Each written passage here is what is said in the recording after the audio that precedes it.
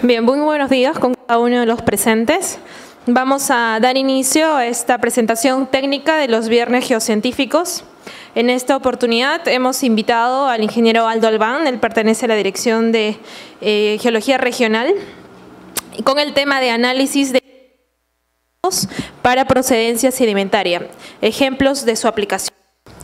El ingeniero Aldo eh, es PhD de la Universidad de Göttingen, Alemania, egresado de la Universidad Geológica de San Marcos y cuenta con experiencia en trabajos de geología regional en Ingemet. Recibamos con fuertes palmas así la presentación del ingeniero Aldo Albán. Gracias. Lo que quiero compartir hoy eh, con ustedes es las técnicas que apliqué. Oh, gracias las técnicas que apliqué para desarrollar mi tesis de doctorado en Alemania. Esto, está, esto consiste en, el análisis de procedencia sedimentaria y esta técnica se basa, para empezar, en los análisis de los minerales pesados. A continuación quiero mostrarles un, un par de frases de Morton y Hashworth donde dice, los sedimentos son considerados como archivos geológicos. Se preserva la historia de los eventos geológicos. Claramente los sedimentos nos dan una interpretación, nos, dan, eh, nos indican cuál es la historia geológica de, una cuenca sedimentaria dada. Cuando vemos una estructura sedimentaria, una laminación cruzada, un conglomerado, claro que nos dice algo. Hay algo un poco más allá de eso que, que podemos ver. Esta presentación la estoy dividiendo en cuatro partes. La procedencia, cómo se obtienen los minerales pesados, es decir, las técnicas, algunos ejemplos y voy a concluir. A grandes rasgos, para empezar, procedencia sedimentaria se resume en este gráfico, donde vemos la roca fuente y los sedimentos. La roca fuente, llamémosle a las rocas que aportan el sedimento, se erosionan y están aquí. Eso es el principio básico de la procedencia sedimentaria. Pero hay un montón de cosas más que se tienen en cuenta en, en estos estudios. La roca fuente son varias rocas fuentes, por ejemplo los Andes, conocen muy bien los Andes, estos aportan sedimentos para alguna cuenca sedimentaria y durante la producción de sedimentos se produce desgaste, erosión, se abrasionan y se mezclan con otros sedimentos que son de otra fuente de, otra fuente de roca. Y estos están aquí acumulados en alguna cuenca sedimentaria. Entonces, para que nosotros podamos saber de dónde vino los sedimentos, es que hacemos un análisis composicional, textural y hasta químico de los sedimentos. Y esto es para saber, en primera instancia, de qué roca vino. Los objetivos, las eh, conclusiones les voy a mostrar después. Tradicionalmente la procedencia sedimentaria ha iniciado con los estudios de las sesiones delgadas. ¿no? Tenemos una arenisca y vemos eh, qué compuestos son. Son de cuarzo, son de feldespatos, mayormente vemos eso. Contamos la cantidad de fragmentos líticos que hay, los minerales accesorios que tenemos y al final lo ploteamos en un cuadro de cuarzo, feldespato y litoclastos para saber cuál es la composición eh, precisa de esta, de esta roca en estudio, ¿no? esta arenisca. Y si queremos hablar de, de categorías de procedencia, tenemos, tenemos que plotearlo en este cuadro que es similar, pero con eh, áreas que han sido eh, clasificadas a grandes rasgos en, en, en, varios ambientes tectónicos. Un ejemplo de esto, por ejemplo, es un, un buen trabajo que se hizo en la cuenca Pisco. Se habló de procedencia sedimentaria en la cual se eh, contó la cantidad de cuarzos, qué tipo de cuarzos son, qué tipo de feldespatos, qué tipo de litoclastos. Y al final este autor concluyó de que la mayoría de estos sedimentos viene de un arco transicional, en este caso sería el más próximo, el arco de Guaneros de acuerdo a estos autores. Hay algo un poco más acerca de esto. Quizás podemos deducir aún más allá si es que se trata de un arco volcánico, qué arcos volcánicos o qué rocas magmáticas o incluso qué rocas eh, metamórficas han provenido los sedimentos. En este caso vamos a emplear los minerales pesados. ¿Qué son los minerales pesados? Son aquellos que están considerados mayormente entre 2.87 gramos por centímetro cúbico son pesados, son minerales accesorios. Quiere decir que en la roca va a venir solamente uno o menos de 1% de la composición total de estos. Son usualmente más pequeños de la composición normal de, de los granos, posiblemente un poco más de los 63 micras, estos resisten aún más que, más que los otros minerales abundantes en una roca sedimentaria. Por ejemplo, los minerales pesados resisten más el transporte, desgaste, erosión, que una plagioclasa o un feldespato. Entonces, eso es un buen punto para considerarlos en un estudio de procedencia. Estos, por ejemplo, son anfíbol, piroxenos, circones, trumalinas, rutilos, zapatitos. Aquí están mostrados, ya los separé. ¿Para qué sirven los minerales pesados? A grandes rasgos, estos sirven como indicadores diagnósticos de procedencia sedimentaria, claramente.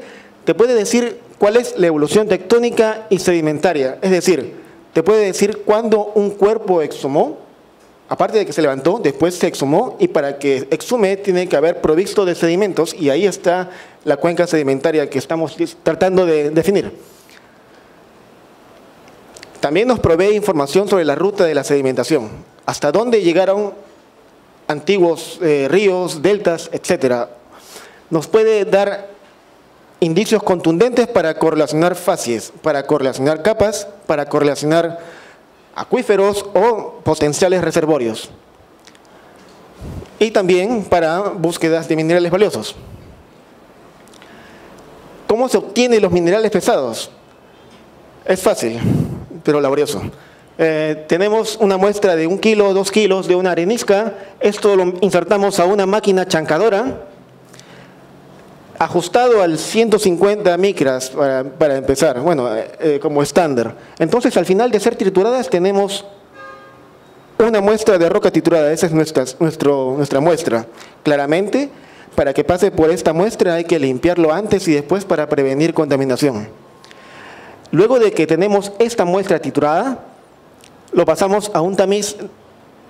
El último de estos es el 63 a 125 micras. En este caso van a quedar atrapados en el tamiz los granos que son ligeramente mayores a los 63 micras. Entonces, ya tenemos tamizado nuestra muestra y vamos a pensar en hacerle una, una siguiente separación mecánica, pero con un líquido pesado, es decir, para separarlo de acuerdo a sus densidades. Como queremos minerales pesados, vamos a separarlo de aquellos que son ligeros. Aquí tenemos una lista, por ejemplo, de aquellos que son considerados pesados y ligeros. Aquellos que son pesados, más de 2.87 o 3, son clinopiroxenos, por ejemplo, eh, eh, granates, circones, esos son los que más se usan para ese análisis. Y los demás, pues están entre, entre ellas las que conocemos mucho, las biotitas, las micas, feldespatos, plagioclasas, cuarzos, etc. Entonces, esa muestra que hemos, que hemos triturado en la chancadora, le bañamos en ácido para asegurarnos que haya menos minerales ligeros como las calcitas. Lo disolvemos en ácido y usamos un líquido pesado, que es un politungstato de sodio. Es un líquido que es caro realmente y como es caro hay que seguir un procedimiento para rescatar la muestra y reciclarla. El hecho es que este líquido pesado que tiene densidad específica de 2.87 se inserta en estos, eh, en estos embudos de separación. Y una vez insertado el líquido pesado se inserta la muestra, cerca de 40 a 80 gramos de esta, de esta muestra. Entonces vemos de que aquí en la parte inferior se depositan los minerales pesados y aquí flotan los minerales ligeros. Arriba, eh, abajo más de 2.87 y la fracción ligera arriba es más eh, menos de 2.87. Entonces ya tenemos separados nuestros minerales pesados. Una vez que están separados, los minerales pesados los ponemos, eh, los limpiamos con agua caliente, los ponemos con un filtro limpio y los secamos por 24 horas. Y una vez que ya están secados, vamos a pasarle un imán muy fuerte para que quite en primera instancia los minerales ferrosos que nos impide ver el espectro real de los minerales pesados. Y estos después van a ser montados en, una, en un slide de vidrio, claro, este, con un estándar de, peso, este, para que sea estándares con otras medidas y van a ser insertados aquí con una resina epoxi o bálsamo de, Canadá a una temperatura dada para que se eviten, eviten los burbujas, las burbujas. Después que están en esta lámina van a verse como está aquí. Láminas de minerales pesados. A estas láminas vamos a tener que entender, mirar sus propiedades ópticas para poder discriminarlos uno de otro. Cuando lo discriminamos uno de otro, hacemos un conteo, que lo llevamos en una, cuadra, en una tabla de Excel. Por cada slide vamos a contar al menos entre 250 gramos, granos por muestra para que sea una muestra consistente y representativa y nos dé un, espectro más claro. Entonces, se puede hacer sencillamente contándolos en Excel. Entonces, una vez que tenemos varias muestras con esos espectros, tenemos una evolución que puede indicarse así, por ejemplo. Esta es una columna estratigráfica que se hizo en el, en, el centro de Reino Unido. Y aquí, por ejemplo, en esta sección estratigráfica, vemos de que en la parte basal hay abundantes circones y hay abundantes silimanitas y distenas. De pronto hay un incremento abundante de epídota y otra vez vuelven los circones. Entonces, nosotros vamos a mirar las variaciones que suceden en, a lo largo de la columna estratigráfica y podemos separar, por ejemplo, dos eventos. Un evento es que sucedió en los circones y las turmalinas, de pronto cambió a este mineral y luego a este. Eso claramente es un cambio de procedencia, es decir, cambio en la sedimentación, o en otras palabras, un cambio en la geodinámica. Este es otro ejemplo. Por ejemplo, aquí vemos de que hay minerales derivados de rocas metamórficas y de pronto hay un incremento de rocas fuentes diferentes, en este caso son arenijas, son otra composición que está entrando con fuerza. Y aquí vemos otro ingreso de, rocas que está yendo para la parte superior. Entonces, si eso lo ajustamos a un contexto geodinámico, decimos, acá hay un, un evento geodinámico y aquí otro. Y lo podemos graficar en un esbozo geodinámico, un modelo de tectónica. Este es un ejemplo de la cuenca Camaná, por ejemplo, acá en el Perú. Para, tener más consistencia en, la procedencia es que hemos comparado la composición mineralógica de las rocas fuente, o potenciales rocas fuente, mejor dicho, con la fuente, la, la cuenca sedimentaria, en este caso la cuenca Camaná. Aquí tenemos un espectro de minerales pesados de potencial roca fuente en la cordillera de la costa y en la cordillera occidental. Y aquí tenemos la formación Camaná. Nótese que aquí en, la, en, la, en las rocas del Batolito de San Nicolás de la Cordillera de la Costa tenemos abundancia de eh, titanitas y aquí de eh, granates. Esos son muy conspicuos de rocas de la Cordillera de la Costa. Y rocas de la Cordillera Occidental son muy abundantes de anfíboles y de titanitas eh, sin color y piroxenos. Si eso lo pasamos a nuestra columna estratigráfica de, la cuenca Camaná, vemos de que la parte basal de, la, formación Camaná tiene rocas derivadas de la cordillera de la costa, por supuesto, está sobreyaciendo inmediatamente, pero además hay otros presencia de minerales que son derivados de la cordillera occidental. Y de modo contrario, la parte superior de la formación Camaná tiene sedimentos o minerales derivados de la cordillera occidental. Entonces, para que se entienda, para que se entienda y se interprete por qué se tiene sedimentos, eh, minerales que son conspicuos de la cordillera occidental en la parte basal de la formación Camaná, tiene que haber un arreglo estructural el más coherente para que explique esa, esa situación. En términos de correlación estratigráfica, tenemos, por ejemplo, el... Ah, hmm, tenemos el grupo Moquegua y la formación Camaná del Cenozoico. Por correlación estratigráfica diremos de que las capas de la parte superior de Moquegua, es decir, Moquegua C, son similares en tiempo a la parte basal de la formación Camaná, igual para la parte superior del grupo Moquegua, es decir, grupo Moquegua D, similar a Camaná B, que es la parte superior de la formación Moquegua. Esto ha sido presentado en función de las similitudes de fases sedimentarias. Pero ¿qué argumentos tenemos para decir que realmente son similares, son, son, son la misma capa o son el mismo tiempo? Podemos hacer una comparación de minerales pesados entre las unidades que pensamos son similares. Por ejemplo, la unidad Moquegua D y Camaná B que están en el tope tienen abundancia de piroxenos y anfíboles, muy similar a lo que sucede en la composición de la, de la unidad Camaná B de la formación Camaná. Son muy similares. Y si vamos a la parte más basal de la parte media del grupo Moquegua, es decir, Moquegua C, vemos que son eh, parcialmente similares a la, parte, a la parte basal de la formación Camaná. Y digo parcialmente similares porque la formación Camaná tiene sus propios sedimentos derivados de la cordillera de la costa. Y había mencionado de que hay algunos minerales que son derivados de la cordillera occidental. Y aquí están. Por ejemplo, esto. Los piroxenos, anfíboles y algunas titanitas que son propios de la cordillera occidental. Entonces, hay una correlación. De alguna manera, hay alguna, algún tipo de conectividad y se puede decir de que la sedimentación ha sido muy coetánea. En el Mar del Norte también se hace, se usa mucha, eh, muy comúnmente estos tipos de correlaciones. Se hace, se toma las correlaciones en primera instancia de registros eléctricos y se refina con los minerales pesados. Estos son los que están en líneas rojas, por ejemplo, y azules. Y los registros antiguos son los que están en líneas negras. Se ve de que se ha refinado estas correlaciones y eso es útil para que puedan hablar de potenciales reservorios, donde solamente tienen registros y a veces sísmica. Si queremos comparar o si queremos calcular la extensión de unas fases sedimentarias, tenemos que buscar en varios sitios unas columnas y sacar algunas muestras que creemos que son similares. Y para ser consistentes es que hacemos minerales pesados. Y así podemos calcular la extensión de un potencial reservorio.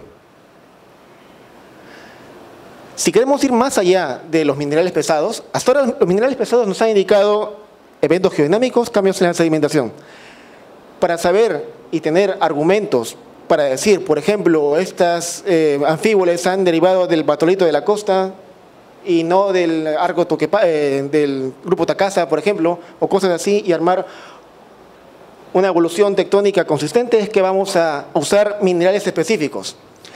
Pero en este caso tenemos que usar un mineral que sea representativo de todas las muestras.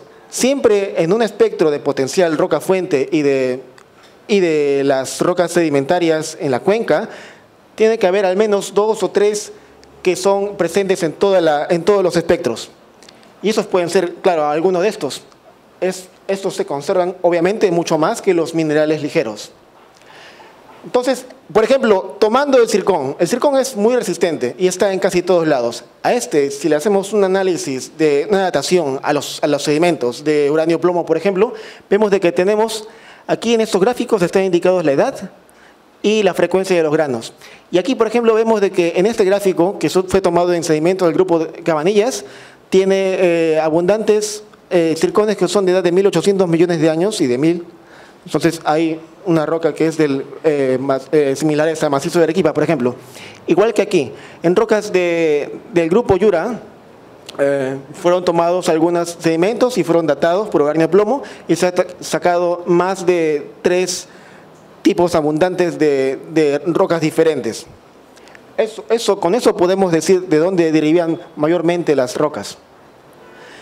Si pensamos en un mineral, por ejemplo el granate, que también es resistente y puede viajar grandes distancias, a estos, por ejemplo, este autor ha hecho análisis de microsondas electrónicas en varios tipos de granate y ha tratado de diferenciar de dónde caracterizar la roca, la roca fuente. ¿no? La roca fuente, por ejemplo, estos, eh, eh, estos minerales vienen de eclogitas y estos de aquí vienen de rocas ultramáficas. Entonces, si esto lo buscamos en estos sedimentos, podemos fácilmente discriminarlos.